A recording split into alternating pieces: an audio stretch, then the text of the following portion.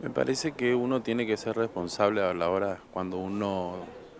eh, tiene una función, ¿no es cierto? Y tenemos que enmarcarnos a, las reglamentaciones vigentes, ¿no es cierto? A las normativas.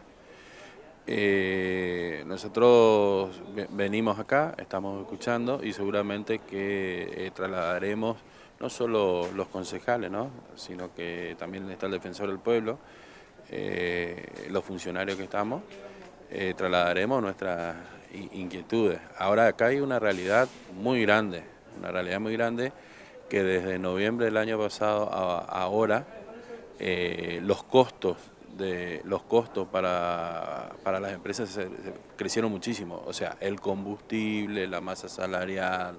eh, la adquisición de cubiertas, ¿no es cierto?, porque son cosas que están en, dólares, o sea, la cubierta, el combustible, las unidades, digamos, y, bueno, entonces me parece que hay que ser muy prudente y analizar muy bien, obviamente que siempre hay que tirar para abajo, hay que tirar para el lado de la gente, ¿no es cierto? O sea, para el lado de la realidad de los vecinos. Eh, eh, lastimosamente, o sea, no es, o sea, no, está en la mano de, los concejales ni del intendente solucionar el problema eh, eh, estructural que está teniendo la Argentina. Y eso es, sabido, ¿no es cierto? Entonces, eh, me parece que nosotros tenemos que ser muy prudentes a la hora de, sobre todo, emitir una opinión, digamos, tenemos que escucharlas a todos y sobre todo tenemos que analizar bien, tenemos que analizar cómo se logra eso, esa tarifa, esos costos, y, bueno, hacer, eh, eh, ¿cómo es? El esfuerzo mayor que tengamos que hacer a la hora de tomar una, decisión, ¿no es cierto?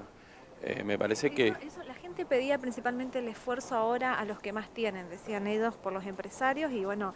un pedido desesperado a los políticos que se pongan del lado de ellos. Yo, yo, yo, estoy con vos, eh, comparto que hay que ponerse del lado de la gente, pero cuando vos tenés un gobierno estructural nacional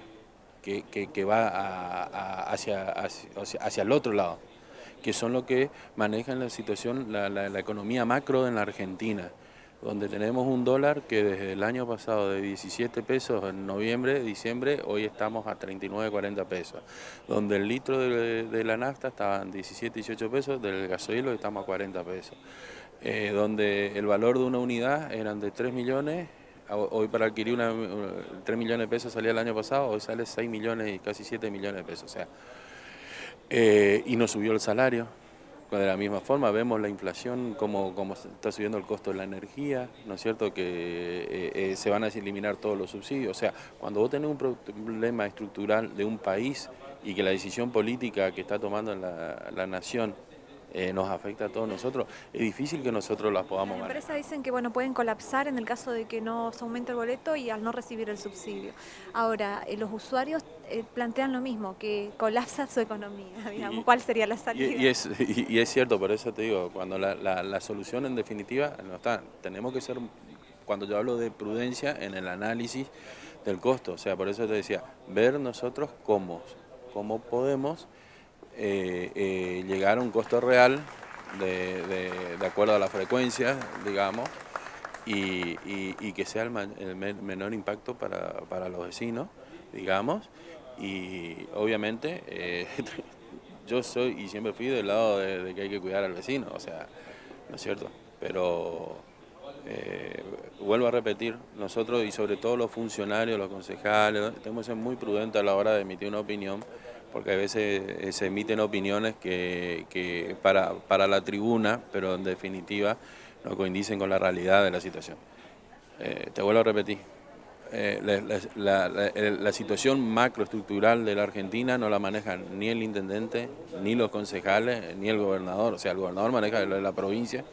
el intendente de la ciudad de Posadas, pero eh, eh, lo, que, que está manejando, que la situación económica que están atravesando cada uno de los vecinos, eh, el presidente de la nación. Así que, que bueno,